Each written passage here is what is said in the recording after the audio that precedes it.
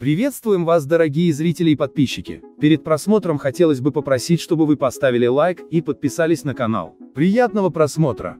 Россияне раскритиковали дочь олимпийской чемпионки по фигурному катанию и депутата Госдумы Ирины Родниной за нелюбовь к родине. Еще в начале июля живущая в США Алена Миньковская опубликовала на своей странице в соцсети Instagram фото, на котором запечатлена лежащая на капоте авто с изображением белоголового орлана, герба США, и одетый в майку в цветах американского флага. Лишь накануне на публикацию Миньковской обратил внимание русскоязычный пользователь Twitter, став автором резонансного поста. Он спросил подписчиков, кто эта американская патриотка, и сам ответил, что это живущая в Нью-Йорке дочь депутата Родниной. Пользователи социальной сети раскритиковали Миньковскую за патриотизм по отношению к США. Настоящая патриотка.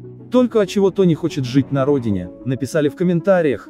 Это уже некрасиво, отметил пользователь. Люди без родины, добавил другой. Патриотка уровня бог. Написал другой пользователь. Сразу видно, что патриотка. Только вот какой страны. Возмутились в Твиттер. Между тем в апрельском интервью Роднина рассказывала, что ее дочь с детства живет в США по желанию отца, бизнесмена Леонида Миньковского, которое при разводе удовлетворил суд. В свою очередь на вопрос, патриотом какой страны является дочь, Роднина отвечать не стала. Подпишитесь, пожалуйста, на наш канал, ведь мы стараемся делать видео только для вас. Спасибо за просмотр.